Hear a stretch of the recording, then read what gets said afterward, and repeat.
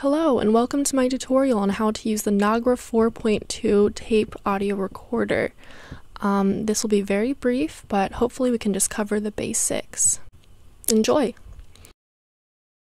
So from the very beginning, first you want to set the speed at which your tape is going to roll. They are um, about five different settings, but usually 7.5 by 19 centimeters is standard, so I have that set there. Next, you want to get your two rolls ready, one empty, obviously, and the other with the tape. Hopefully, that is blank, which doesn't have to be always the case. Um, next, you want to put the tape onto the recorder itself.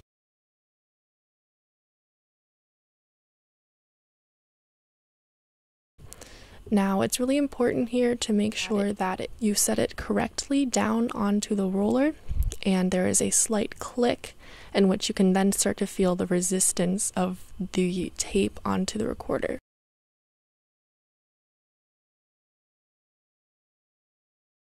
Each time you set the tape down, you need to make sure to secure the washer, or else your tape can then fly off, and that's never a good situation.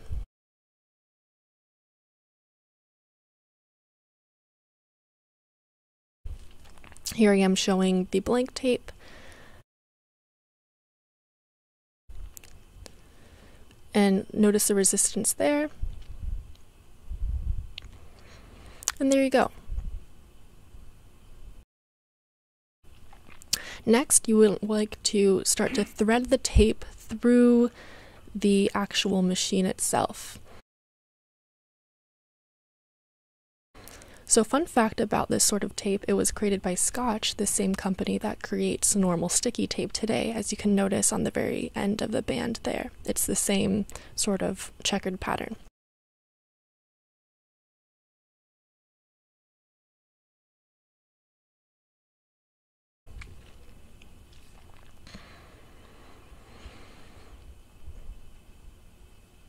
It is usually a it is a straight line um, but I understand that when you look at it, it can be a little bit daunting. But don't worry, it is a straight line from, as you can see, the two rolls on either side of the machine.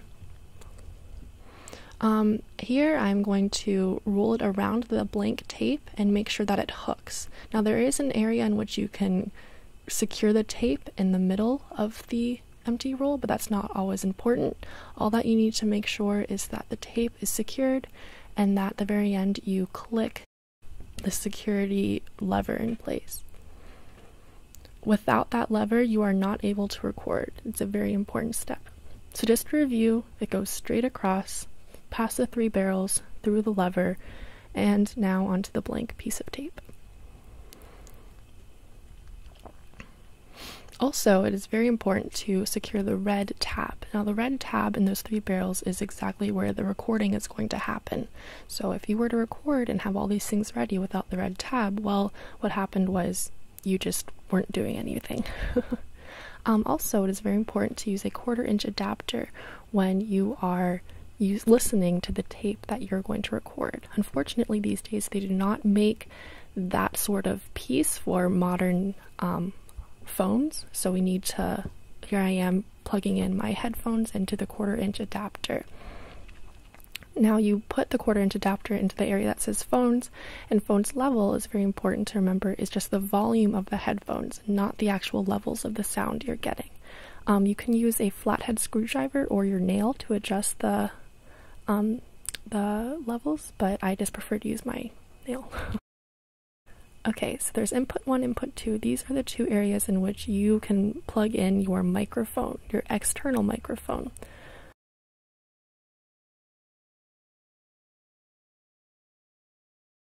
Um, here I am with a DXLR. Um, it's about standard two feet one. Um, there's a giving and a receiving head. Now it's important to remember to put the giving head into the receiving hole of um, your Nagra.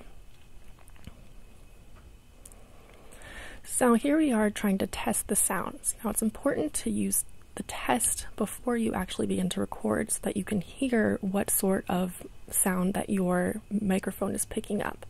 You can listen to the tape, what's it's recording there, or directly you can hear what the um, the machine is picking up. It's important to distinguish between the two. Usually, you just want to listen to the tape though. Um, here you can see what the levels will look like when you are recording. Um, it is important to try to hit the area on the very top rung in the most bolded part. That is the zero decibels. That is around the maximum. That is that means you have good um, levels in which you are hitting them there. Here you can see there is labels mic one and mic two. I only plugged the first input, so the first mic corresponds to that. Um, you can go and adjust the decibels in that direction. The lowest is 74. Usually the normal is 85 you just want those levels to be um, straightforward and up. That just means that the the, ne- the needle is showing what the levels are and not anything. Next, we're going to start to record.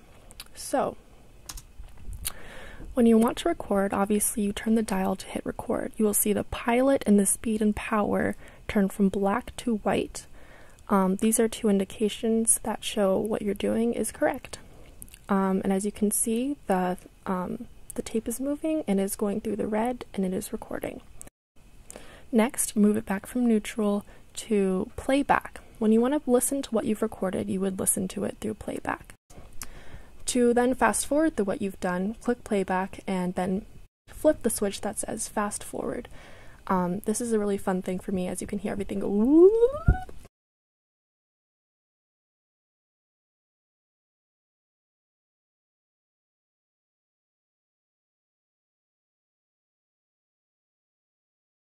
And then once again to stop it, move it back into neutral and move the dial needle back into neutral. Well, thank you so much for listening to my tutorial. Once again, this was a very basic 101 sort of thing. There are obviously many more settings and um, ways in which you can play with the Nagra. I really enjoyed learning how to use this analog sort of machine as we live in this digital age, uh, you know, full of binary and ones and zeros. This is a very real um, and not as intuitive machine.